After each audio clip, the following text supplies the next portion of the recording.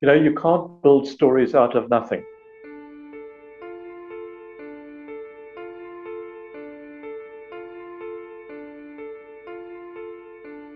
It's been a lot of discovery, even more so than what you normally have in a renovation project like this.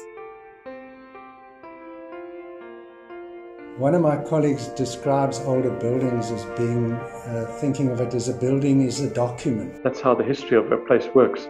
It builds on. It's like a, like a story, like a book.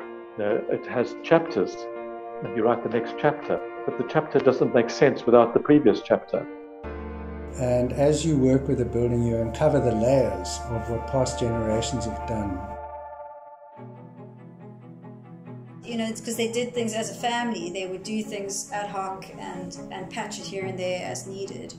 And now to implement proper mechanical services and proper plumbing and drainage to hide all of that within the building where it was completely exposed before has been quite a challenge and, and it has resulted actually in quite interesting forms. The architecture is really authentic and has a lot of restrictions and a lot of challenges and great opportunities um, because it's of um, national interest, of heritage interest.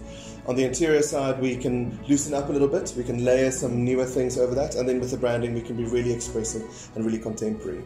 So that gives us a really nice palette to work with, um, you know, to take something that has history, um, layer it with all of the little bits of history that, that it's accumulated over time, and then give it something that's really relevant to what it is today. We responded with a new layer of design which celebrates the old but doesn't necessarily copy it. It adds a new generation's intervention into the building. It evolves, becomes something else. It builds on another layer. It, it, it changes. Like people, it's like, you know, when you say, okay, as you get older, you must, you must change your whole appearance so that you're going to look young forever.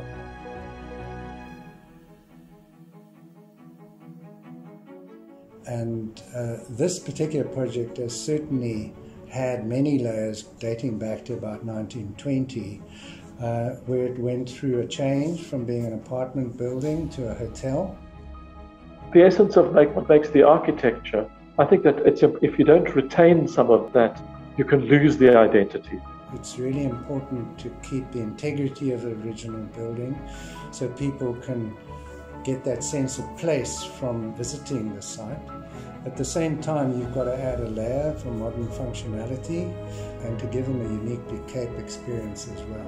But it's really important for us to retain its sense of identity. This building brings us many, many blessings, as many blessings as challenges. Um, it has a great, really, really rich, rich history. Everything in the building has been collected over a very long period of time. And there's still remnants of apartment building, like the old milk boxes. Um, when it was an apartment building, the courtyard uh, used to be for vehicles, and the carriages and early cars would drive up through what is now the foyer and reception into the courtyard, and the floors actually slope, they're not level. Um, which is like an interesting challenge when you're trying to put furniture into the building nowadays.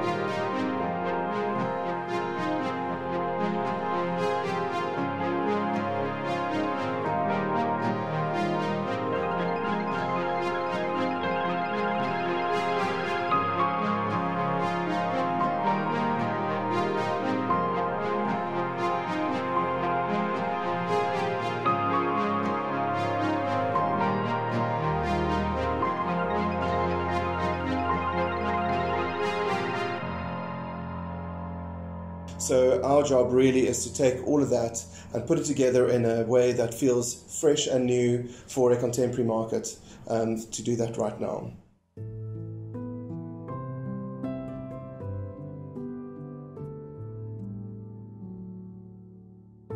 Speaking as a heritage architect, is always that the ad shouldn't try and copy because copying, in other words, taking taking Winchester Mansions and saying, if okay, well, I was going to uh, double it in size. If you built another building next to it, and copied the architecture exactly, that's not going to make Winchester Mansions more important. It's going to start looking fake. Because now you're saying, which is real, which isn't real? Why does it?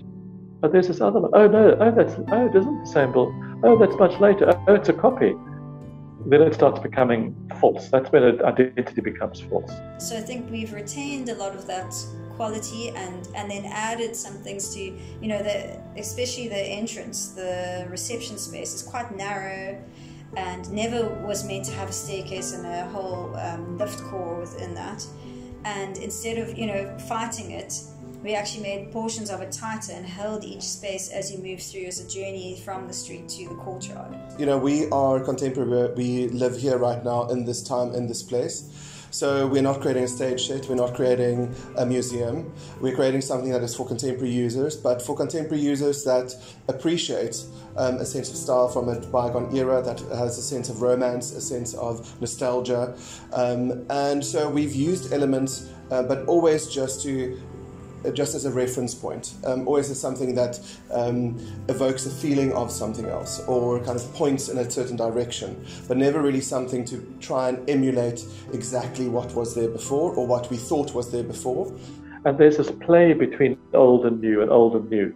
And, and to me, that's, that's how you, when you're setting up a dialogue between old and new, you aren't throwing one out and plastering over it. You're actually setting up a kind of a, conversation. How does a story which which was something else before, how does it tell a new story? It's it's that kind of way of allowing that dialogue and not allowing it to be schizophrenic. A big part of its worth to society and, and to those who own it and those who visit it are those quirky layers and the stories associated with them.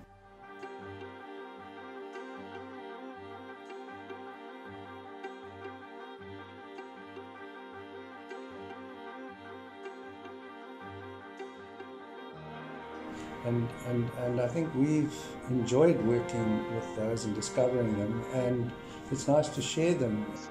And you can, it enables you to, to, to talk about it and, and, and other people to bring it in, you know, so, so if it's a place which where people come to, you, you allow, you, you can start entering and talking about it because you, you're looking at one and then the other, and you can you can have a conversation. One of the biggest trends we've seen coming for the last for the last ten years, but has really sped up in the last five years, is people are looking for properties that are unique, um, that have authenticity, and that have a story.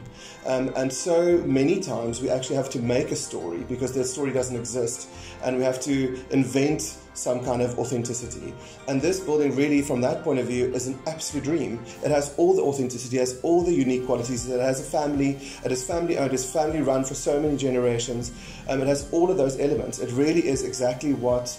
Um, the contemporary traveling market is really looking for. Um, a unique property in a significant location with a really rich history, but a contemporary slant in how they present hospitality.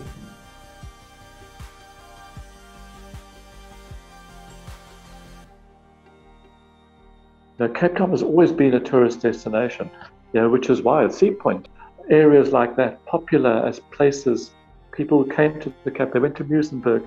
Cape Town was always a destination, very conscious of the image it presented. It was, you know, before we had, when it was still, people came by boat, or the Union Castle, where did they dock? Cape Town. Cape Town was the gateway to Africa.